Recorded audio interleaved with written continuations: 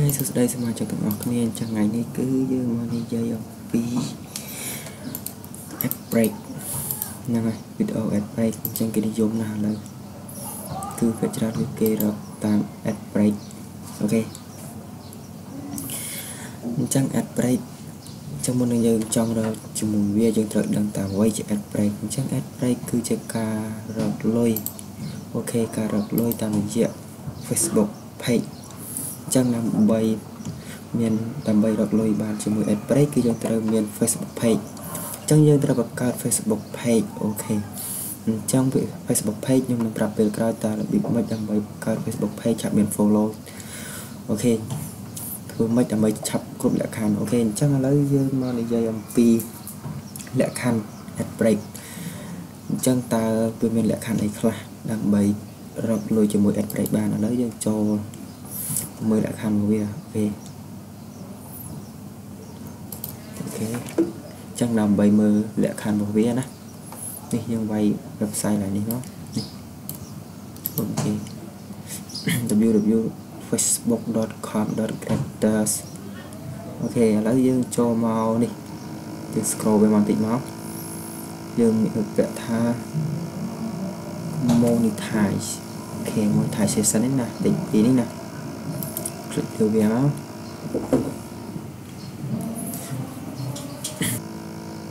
អញ្ចឹងដើម្បីរកលុយជាមួយ ad break បានគឺយើងត្រូវបង្កើតមាន page Facebook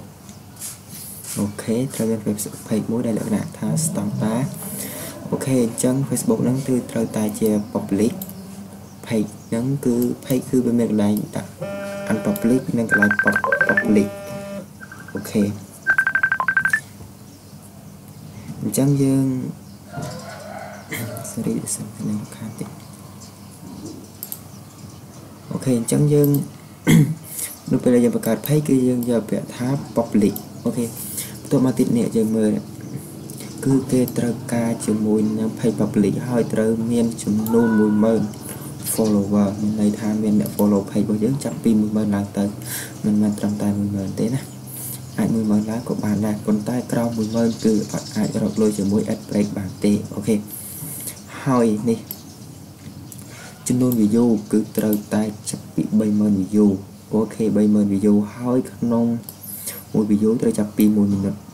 មានន័យថាគេមើល1មីនិតហើយរយៈពេល30000 view ហ្នឹងគឺយើង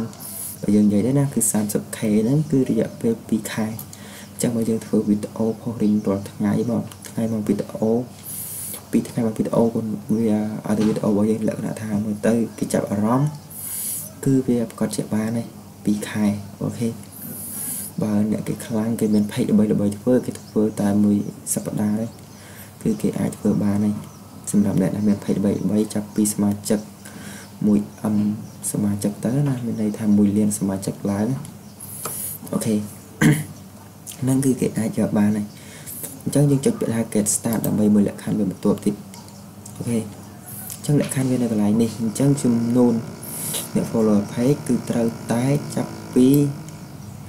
1000ឡើងអញ្ចឹងឃើញថា page នេះ គឺវាគ្រប់លក្ខខណ្ឌហើយ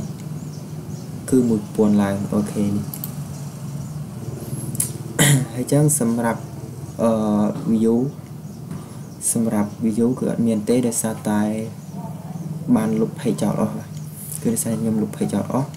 ហើយ monetize នេះគឺវាបើកឲ្យហើយលើករបស់វា standard អញ្ចឹង country អញ្ចឹងតើតើនឹង country អូខេ country គឺយើងចុចពាក្យថា learn more មកដើម្បីយើងចូលមើលថា country ណាខ្លះដែលវាអាចធ្វើយើងរកលុយជាមួយ ad break បានអូខេ country and language នេះឥឡូវសម្រាប់ភាសាដែលវាឲ្យយើងរកជាមួយ ad break បានគឺមានច្រើននេះ ទាំងអង់គ្លេសបារាំងអាល្លឺម៉ង់អ៊ីតាលីឥណ្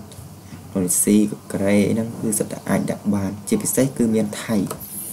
អញ្ចឹងជាជនខ្មែរយើងគឺភាគច្រើនគឺចេះថៃនិងអង់គ្លេសអូខេអញ្ចឹងគឺយើងអាចសេជាភាសាថៃក៏វាឲ្យយើងរកលុយជាមួយ ad break ដែរហើយមួយទៀតប្រទេសដែលវាបើកដំណើរការឲ្យគឺច្រើនមែនតើឥឡូវគឺមានពពួក USA ពពួក UK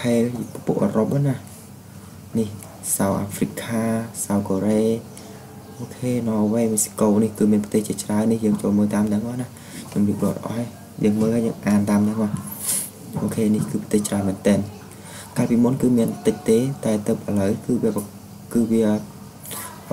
អនុញ្ញាតឲ្យរកច្រើនមែនតើប្រទេសហើយនឹងភាសាក៏ច្រើនភាសាដែរ okay នេះគឺជាការដែលលក្ខខណ្ឌ ad break អញ្ចឹងនៅលើវីដេអូរបស់យើងណា នៅលើវីដេអូរបស់យើង គឺត្រូវតែសរសេរជាភាសាអង់គ្លេសឬក៏ភាសាថៃ គឺភាសាដែលគេនេះភាសាដែលគេដាក់ឲ្យនេះអញ្ចឹងវីដេអូរបស់យើងប៉ុន្តែ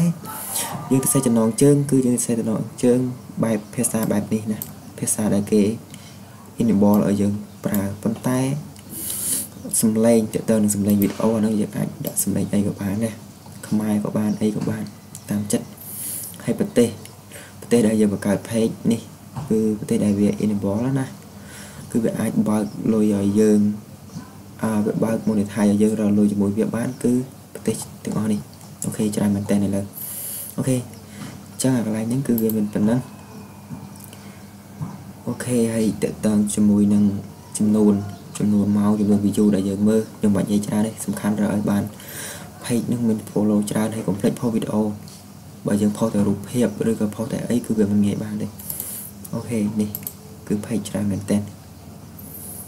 នេះណាអានេះគឺវា follow អត់ទាន់គ្រប់ទេប្រទេសក៏ខ្ញុំអត់ទាន់បានដាក់ដែរ